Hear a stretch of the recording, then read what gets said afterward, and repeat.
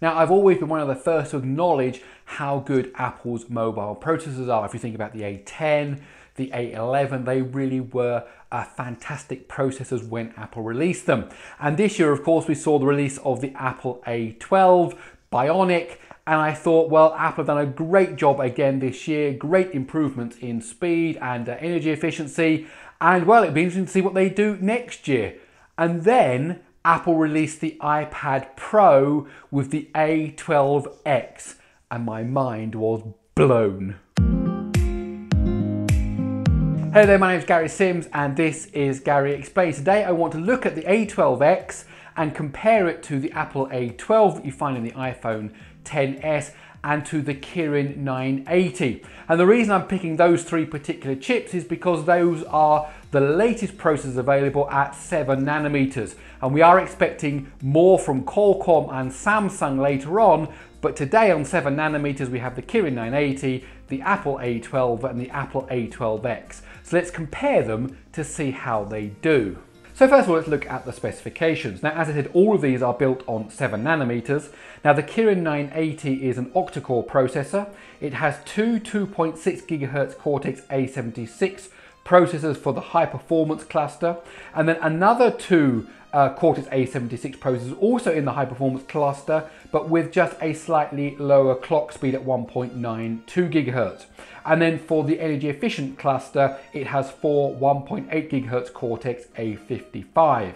Now for the GPU, it's a 10 core Mali G76, and when we talk about the internal caches, there's 2.5 megabytes of L2 cache, that's shared across the various cores and then 4 megabytes of L3 cache which is system-wide across the whole uh, processor and you find the Kirin 980 in devices like the Mate 20, the Mate 20 Pro and so on. Now Apple of course released the A12 in the iPhone 10s and 10s Max and that's a hexa-core processor. So at the higher performance cores there are two 2.5 gigahertz Vortex cores and then for the energy efficiency cores, there are four 1.5 gigahertz Tempest cores. And then the GPU is a four core GPU designed by Apple itself in-house. And for the caching, there's eight megabytes of L2 cache. And of course, we find this in the iPhone 10s and the iPhone 10s Max. Now, after that, Apple released the iPad Pro 2018 model, and that contains the Apple A12X. So it's a variant of the Apple A12, and the big difference here, it's now an octa-core processor rather than a hexa-core processor. So you have four 2.5 gigahertz Vortex cores, then four Tempest cores, probably also clocked at 1.5 gigahertz. You have a bump in the GPU there from a four core design to a seven core design, and then the rest stays the same with that uh, 8 megabytes of L2 cache. So clearly the A12X is the big brother of A12. You've got two more CPU cores and three more GPU cores. Now you might be asking yourself the question, well, why didn't Apple put that processor in the iPhone 10? And the simple answer is battery life. It's obviously a much more hungry device. There is a direct relationship between the amount of power that a processor draws and kind of its performance level,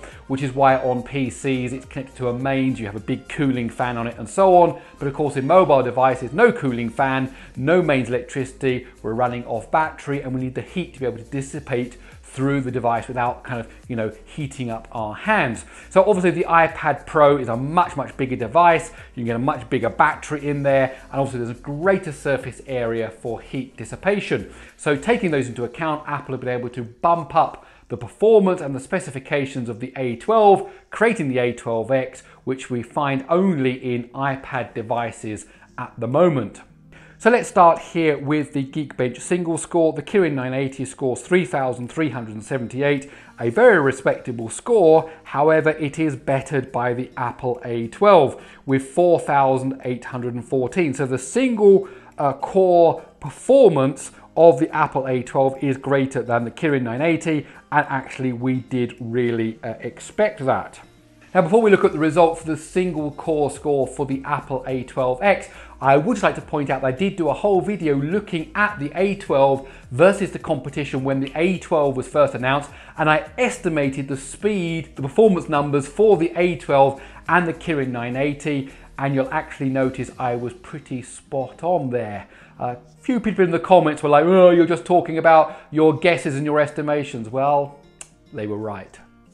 And here we go, the score for the A12X uh, under Geekbench single score is 5012 just a tiny bit higher than the uh, A12. That means that um, maybe there's a slightly higher clock frequency that we haven't found out about yet. Maybe they've done some tweaking internally to kind of better lay out some of those internal data paths, those internal layout of all those transistors, and they've just been able to squeeze out a bit more of a higher score.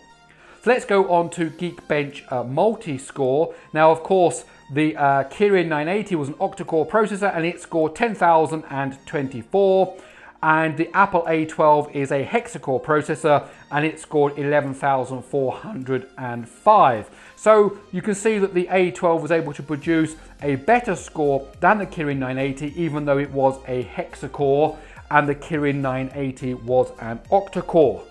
Let's go on to the uh, A12X. Now, of course, this is an octa-core setup, and look at this. An absolutely amazing score of 18,720, blowing the A12 out of the water and blowing the 980 out of the water. A fundamental shift here in the multi-core performance of that mobile processor from going from a hexa-core to an octa-core setup there. And finally, let's take a look at the Antutu scores. Antutu is interesting because it's a combination of both the CPU and the GPU, and we'll be able to see what the overall kind of performance indicator is for the new A12X. So starting with the Kirin 980, we have a respectable score of 307,693 and it was slightly bested by the A12 in the iPhone uh, 10s with a score of 352,880.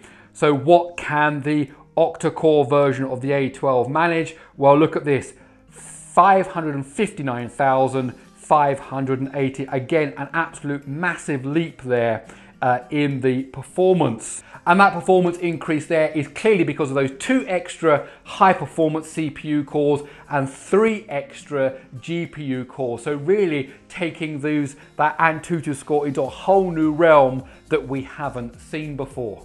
Okay, so there we have it, the comparison of the currently available 7 nanometer mobile processors. The Kirin 980 was unfortunately the weakest of them, but that was to be expected because really Apple are way ahead in the field of mobile processors. You've got the A12, which, the, uh, which was good, but really once you get to the A12X, it really does just smash all of those scores completely. Again, got two extra high performance cores going from a hexa-core to an octa-core and three extra GPU cores, meaning it's a beast when it comes to CPU power and when it comes to GPU power.